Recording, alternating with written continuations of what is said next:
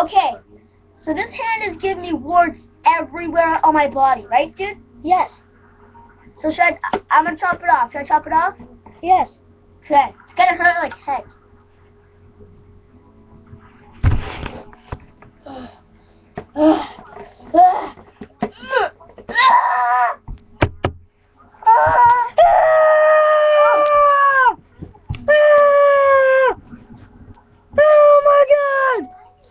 Oh my god!